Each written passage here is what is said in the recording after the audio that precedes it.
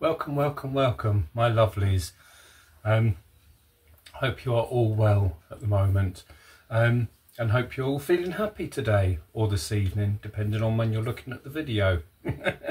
um, cheers. Fresh cup of tea, actually made by myself. Who knew? Who cared? um, yes, John Boy is uh, out today. This is um, in the morning. It's now 11 o'clock in the morning, um, but John Boy's gone out for the day visiting family, gone to see grandchildren, um, so he'll be out all day. Um, but the post arrived while um, uh, while I was here on my own. Um, by the way, you'll see this is all in a different direction from my usual videos um, because I'm in the middle of making a video doing um, some vases. Um, so I'm, I'm, just topping up my Etsy shop. Yay! I hear some of you say. Um, so yes, yeah, so I've, I may do one or two videos or three videos while um, this is all on the go. Um, so you may see this um, this angle on the camera a few times or a couple of times at least. Um, but yes, anyway, so the door went and it was the post and I have a parcel from Kathleen, one of our family members. Hello, Kathleen. I'm sure you're watching. Um, Kathleen decided she wanted to send me something, to ship something through the post, and it's come all the way from the state of New York. Yes, I one of my favourite places. I've been three times over my lifetime. I'd love to go again. I'd love to go with John Boy. We've never been anywhere like that. Uh, we've been to Chicago, but we haven't been to New York. So maybe one day. So hurrah, Kathleen has decided to send something all the way from there. So I can't wait to open it. And I thought I would share this with you guys, obviously. Um, I don't like opening things without um, other people seeing, especially if it's something to do with our family. Um, so what I'm going to do is I'll uh, move the camera down um, onto the worktop here where I'm sitting um, and we'll open this between us and see what it is. Okay, let's get this open. Um, I do like that packaging, the purple with the, it's sort of almost a rubber feel to it with the little circles could almost be used in the um, Art Deco on a, a, wall somewhere or just in a picture frame. I don't know. I don't know. Who knows? Who cares? Right, okay, I will have to cut this open because it's very uh, well stuck down. I'll be careful. Yes, children, always be careful using an X-Acto knife because you could cut your fingers off. It's sort of common sense, really. I don't know. This day and age where we have all this health and safety stuff that we have to mention or say um, because uh, if somebody then has an accident, they can blame it on you as if you made them do it. Ridiculous. Anyway, right. Now, let's take this out. Oh, I've got a, a card here. Oh, oh, look. Beautiful. Don't people go to um, a lot of bother and, and, and take time to do things? I think that's absolutely wonderful. It won't peel off, so I'll I'll cut that there. Yes, I like when people have time to do something. Oh, oh, look, another hum hummingbird. That's lovely, oh, beautiful cards. Gosh, we have really had some beautiful cards people have sent us. Oh, what's this? It's Rich, many thanks for all the inspiration, Kathleen. Oh, bless you, Kathleen. Thank you so much. I'll put that put that there. Um, I've got a letter here, but I won't won't read it because it will take a while. Um, I'll have a look at this afterwards and just see if it's something that we should uh, that we could uh, read for you. Let's uh, move this out the way. My God, what is this? What is this?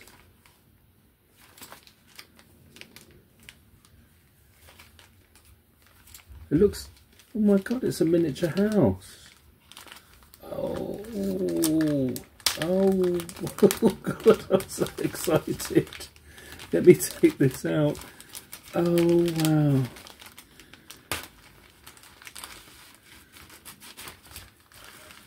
Sorry my big hands are in the way. we'll have to keep all these bits careful, carefully. There's some tiny pieces here, look. It's all laser cut.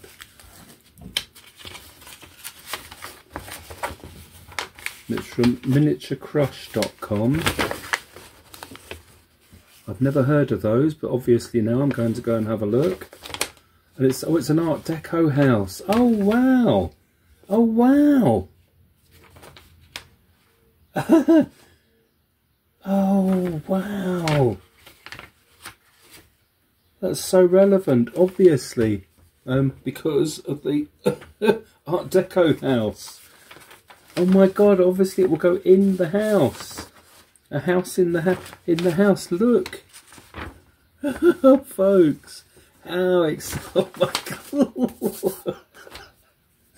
Oh my god, I'm so excited. oh, wow. Well, I will have to, um, what I will do is um, have a good look over it, um, see what needs doing and everything, and then maybe um, I'll do that on a video for you guys. I'll put that back in there, and then you can see it being built. Fantastic. There's little, oh, there's little piece. Oh, look at the jewellery, the um, little perfume bottles on a tray. oh, some people have such good taste, don't they? Look at a little silver tray. Oh, wow. Let me put these, let's see if I can stand them up for you. Aren't they lovely, the way they're made? They look like very posh perfume bottles, I have to say. And they can go on a on a tray. Am I holding that at the camera right for you to see? Aren't they lovely? Oh, look at that one. I actually collect perfume, believe it or not. Well, I'm sure you guys do believe it, coming from me. but I um, not collect just any perfume just for the sake of collecting it, but I collect perfumes that I just really enjoy the smell of. So, um, but I have about, I don't know, about 35, 40 different perfumes. I can't stand them all up in one go because I'm too clumsy. But that's absolutely lovely. Really lo Oh. Beautiful. And there's something else in here. I know we have to always be very careful opening miniatures because you don't know how fragile things are until it's too late.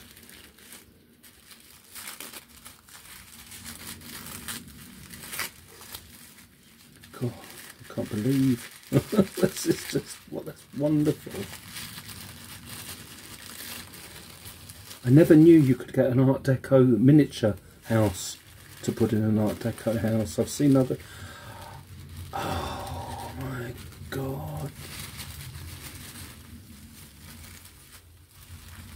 Look at the Christmas garland. Oh, that's fabulous absolutely fabulous. And I think, to be fair, um, that's lovely. Look at the tiny size of those.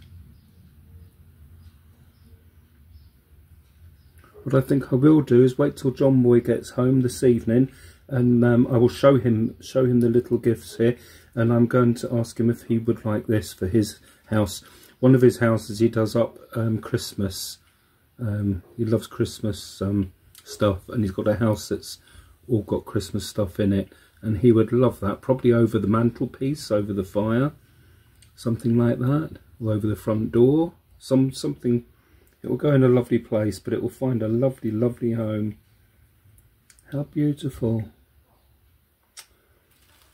Wow. And these are gorgeous. Absolutely lovely right let me move the camera up and um, and just have a quick chat. Hurrah!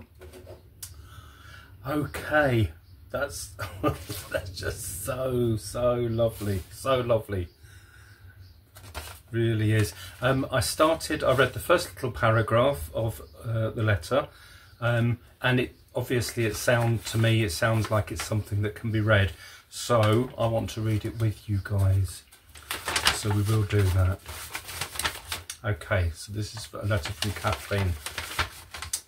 Right Rich one night the lovely couple who owns the Art Deco house came to me.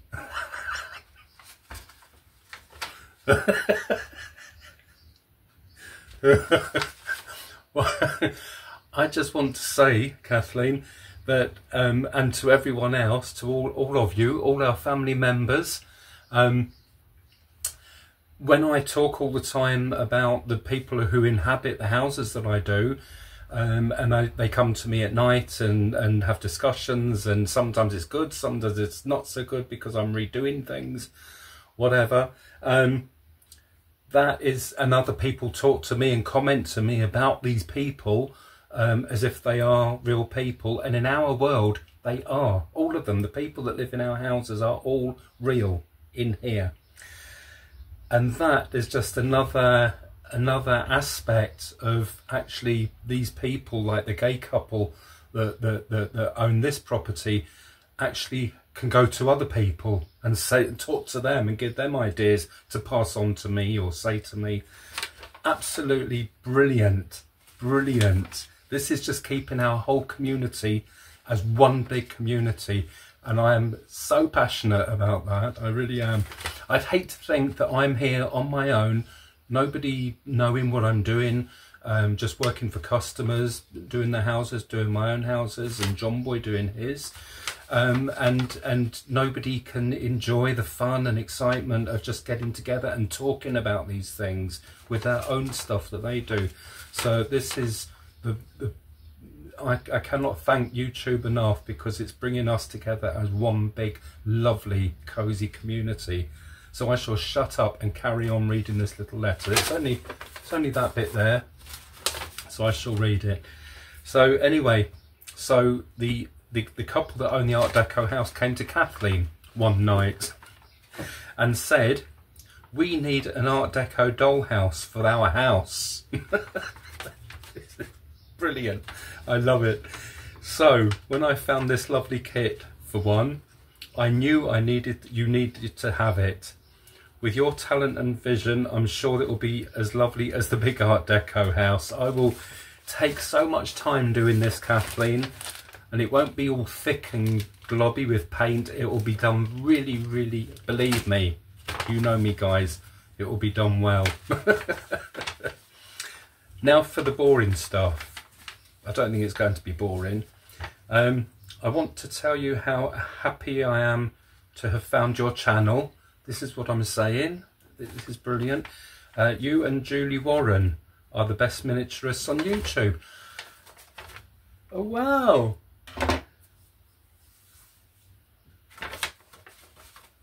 It's so like with all the stuff I do and the time and the hours I spend.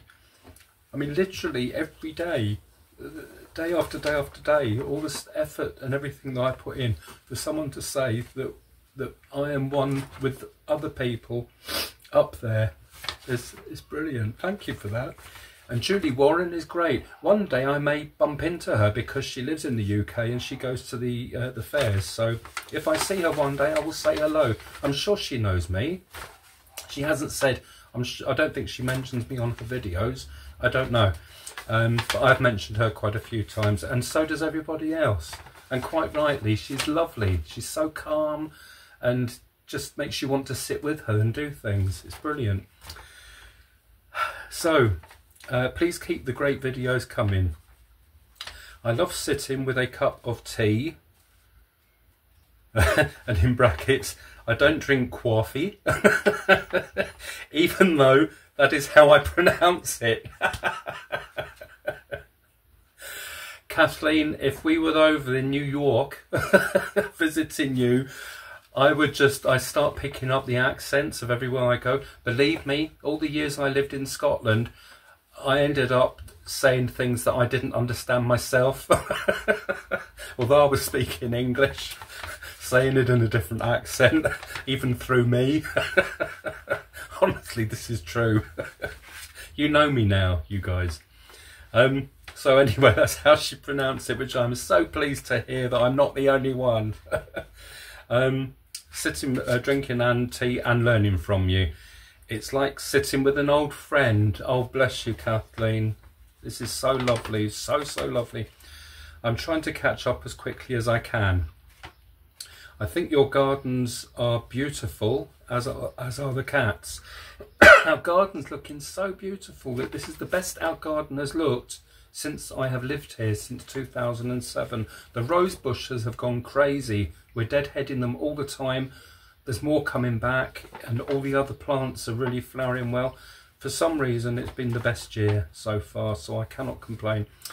Um, and as are the cats. Um, please tell John Boy that his idea with the hallways with the hidden staircase in the back is ingenious. Yeah, I thought so too. Uh, way too much real estate to waste on hallways and staircases. Exactly, Kathleen so many of these houses, there's a, a huge, sometimes they're the same size as the rooms, the actual staircases. And when you look at it, it could have sort of nine rooms, but really there's only six, and then you're doing a hallway. This house here, there's like this, but the hallway is so narrow it really is in scale with, with, with the house. So it's not taking up much space at all. But what I've done with it, with the banisters and the, the, the carpets, it looks so comfy and so nice inside. You could put a little desk on the stairwell or a little chair halfway up. So that that's absolutely perfect. But the big, like John Boy's big Georgian house, that was too much of a waste of real estate. Exactly. Um, so, okay, so almost 50 years ago, my family owned a miniatures shop. Oh wow! Um, I had three large doll, uh, three large doll houses and boxes of goodies in my dad's basement. Can you imagine a basement with all these goodies in? Oh my god! I would just stand there and cry with emotion. Life went on, and I never found the time to get to get to them. Oh, then COVID hit, and then I became an empty nester. My husband suggested I bring a house over. He may now regret that suggestion. Excellent. My dad and sister passed away two months apart. Oh, my mum and my dad passed away ten months apart.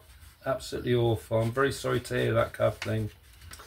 Um, being able to just concentrate for a while on my little hobby was very healing, which I absolutely empathise with you.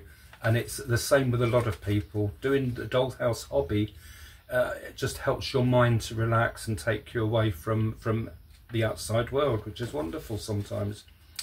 I make it a point to put remembrances of all my family, friends, and pets, alive or past, throughout my houses. What a good idea! What a good idea. Well, we've got little Georgies that we've been getting to put in different houses. So when we dress dress them later on, they, they will go in. Um, but yes, I know what you mean. Um, please keep up the good work. I've included a Christmas garland um, I made for John Boy. Hey! That perhaps he could use for his Christmas house. exactly what I exact. Oh, great minds think alike. And the set of perfume bottles I made. Absolutely brilliant. Well, he will really, really enjoy those. He's in, in his Georgian house. He could put the the um, perfume bottles in the bedroom. Um, we'll see. Um, I'll show him when he gets home, and uh, he will uh, he will decide. But yes, absolutely, it will go in the in the Christmas house. Oh. So I just want to say, folks, thank you so much for watching. Um, and I want to say thank you so much to Kathleen. There's a, a kiss and a, and, a, and a wave from across the pond. Um, absolutely brilliant. Um, I just want to tell you very quickly, just because I'm thinking of New York.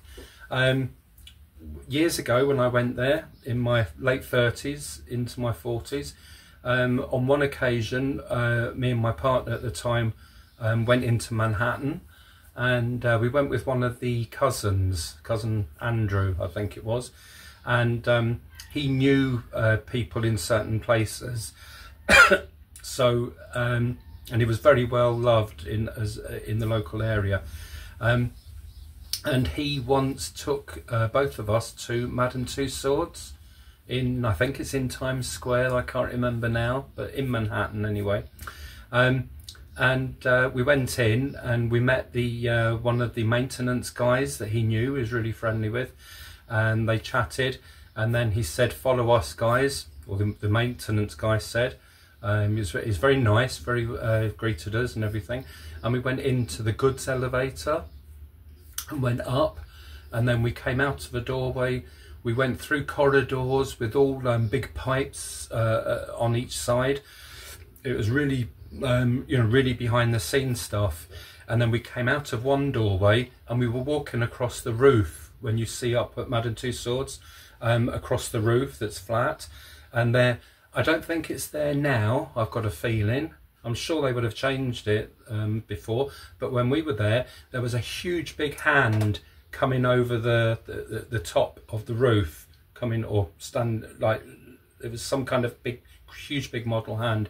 And I remember we walked out onto the rooftops uh, of Madame Tussauds and you could see this big structure that looked huge standing underneath it. And we had to walk past this massive giant hand and into another doorway. And then we went downstairs uh, or an elevator through other passageways and then we opened these he opened this door for us and uh, we all walked out and we were in basically one of the fire exit doors in in Madame Tussauds. So he just took us in there. Um, obviously we didn't have to pay to see it.